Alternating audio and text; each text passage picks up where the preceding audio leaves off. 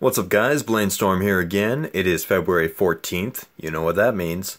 Organ Donor Day.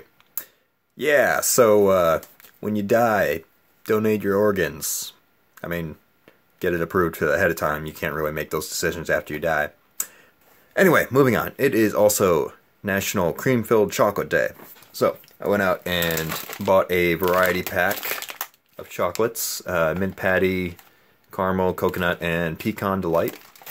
Now, in the tradition of trying new things, and I hate mint, uh, we're going to go with coconut.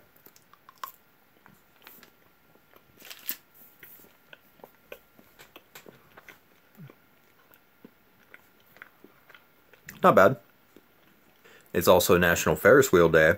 Now, I haven't been on a Ferris wheel in a long time. I really want to go back to one of those. Uh, I tried going to, going to one this summer uh, on vacation. Uh, actually, I have a video of trying to go to a Ferris wheel. Unfortunately, I uh, arrived five minutes after the park closed. So uh, check that out. It's so far away. Why does it have to be so far? It wasn't this far. Go towards the light. Ago. So yeah, that was an enjoyable trip. So yeah, uh, February 14th. I feel like I'm missing something. Let's see. Oh yeah, Valentine's Day. Yeah. so yeah, um, in the first time in a long time, I am actually able to celebrate Valentine's Day. I uh, just got her a little something.